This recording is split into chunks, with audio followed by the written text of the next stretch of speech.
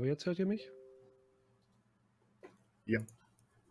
Sehr gut. Mann, Jawohl, Mann. jetzt ist gut. Dann starten wir nochmal. Gut.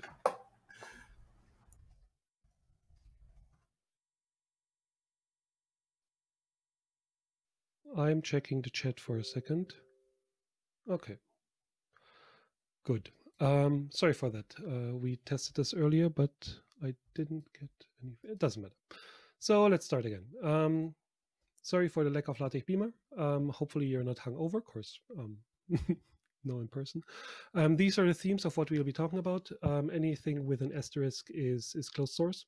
Um, we'll be talking about that also in a second as we published this just yesterday, uh, let's take a look at the top data sources, not because they're so great or anything, but point is um, this might be a good reminder of um, of what we have. Uh, of course, a few of them might be non-obvious uh, to some people, and honestly, it's hard for even myself to keep up with all the developments. Of course, there's just so much so much stuff going on at at all times.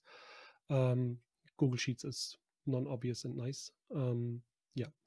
So let's delve into the large themes of what happened in, in open source in, in recent uh, month, last year, what have you.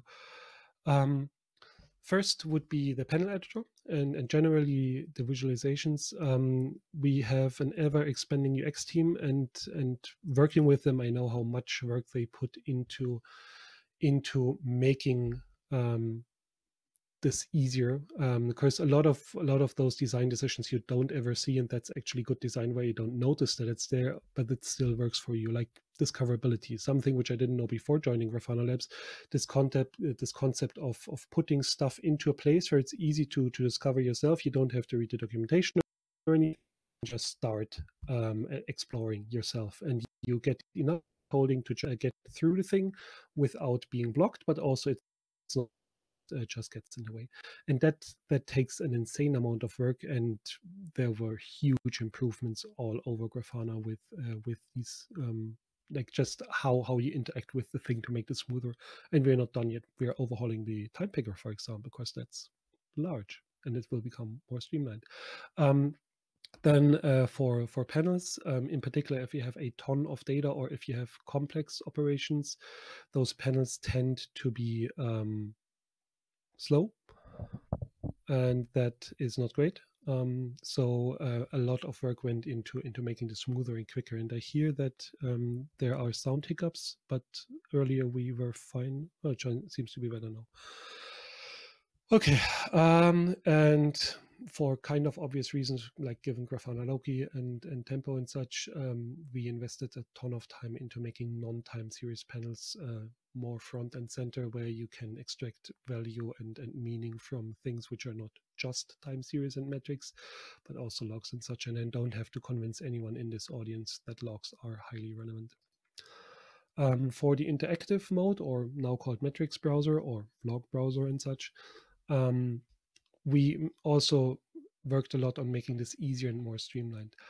So those queries don't build themselves yet, but it becomes a lot easier to build them. Of course, if you make common mistakes, uh, those are caught, they are highlighted. Um, we make suggestions of, hey, did you try to do this and that? So maybe try this thing instead. Um, we try and automatically reduce the overall uh, cardinality or the overall uh, visibility of labels if they're not relevant to the, the current query, you can switch this off if we get it right uh, wrong. But by and large, if you have a Prometheus query and you have like this amount of labels, um, it just reduces this to to the amount of labels which you're caring about, which is nice. Um. Then something which is very dear to my heart, and that's one of the, another one of those stories which is not yet done. Um, where um, we want to enable more reuse of, of panels of dashboards um, so you don't rewrite more or less the same thing three times. Um, of course, you have subtly different views of a thing. You can actually start reusing components. And that's not done yet. Uh, Torkel and I have something which I like to call uh, containers of containers, where you basically have a directed graph of, of um, containers which contain other containers or panels, um, which could in theory replace all the things and like, um, even automated uh, drill downs if if a a section becomes large and such. But that's not there yet. But what we already do have is more reuse, and and uh, if you change it in the central thing, it automatically propagates through everything else, um, which is which is nice.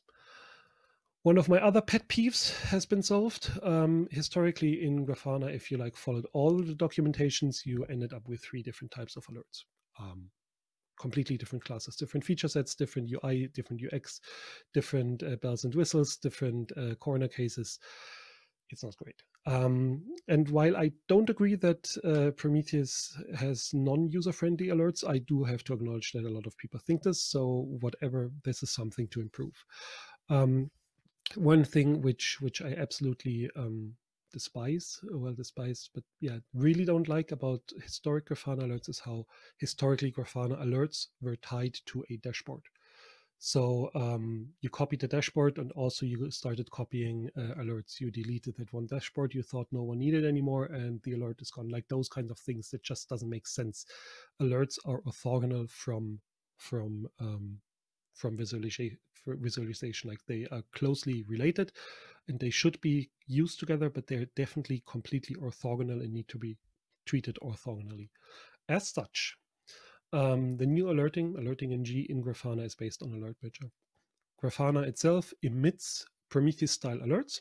We are also writing currently the compatibility suites where we can where we can um, test that we do everything right um, and with my prometheus set on that will be ascertained um, and then everything can go into into proper alert managers.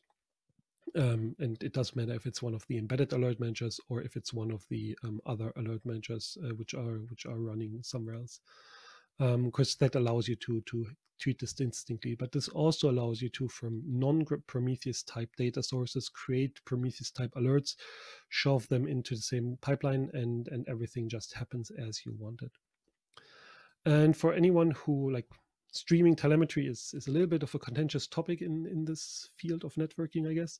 Um, but like if you are into this type of thing we have real-time streaming and you can just like live visualize all the things if you so choose. Um, it's arguably more interesting in iot industrial use cases and, such but um, there are also valid use cases in in networking. Something which is not there yet. This is what the basis of what will hopefully become a weather map at some point um, where you also like can overlay graphs, can underlay different uh, types of things, not just geographic overviews. But this is something relevant for for the networking crowd. That this is actually like there is movement, and we have a first class, first party panel type, which allows you to do this type of thing. Going to the closed source stuff, um, and we'll have this quick I do like food and shelter, so talking about this a little bit, but also the other thing is like we have the sniff test. Do the users, the intended users, have more uh, money than time or more time than money?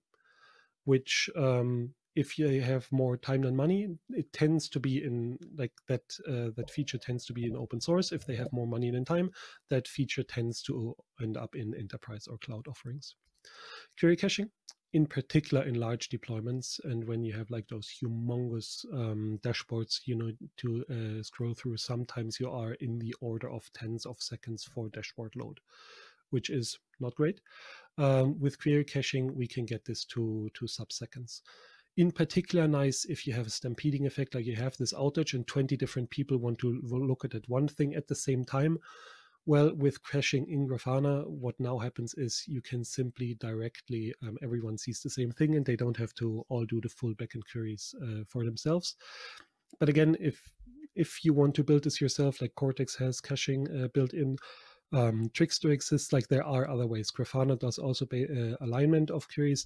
Like a lot of those things can also be built with open source, but again, uh, more money than time versus more time than money um, fine grained access control, um, which um, oh, I'm already over time. I realize, of course, we had a bumpy start. Um, yeah, fine grained access control. You can decide who gets what. Um, reporting for those who use it or for those who don't know, like you can set send PDF reports to people, which is nice. Um, um, and I built this myself at SpaceNet before joining Grafana. So again, you can build this yourself. Also, FYI, tonight uh, Observability Con starts for two days, um, and there will be one announcement which is highly relevant for this crowd. Thank you, and yeah, 30 second over in in talk time, including the gap at the beginning. Um, Perfect. Uh, thank you very much. Yeah. Let's have two short questions. Um, uh, when is there an option to change the color of Any the update on the timeline of updating all dashboards at once? No, I don't think so. Change the color of crosshair. Um, contact me on Twitter or by email. Thank you. Okay, thank you. Bye bye.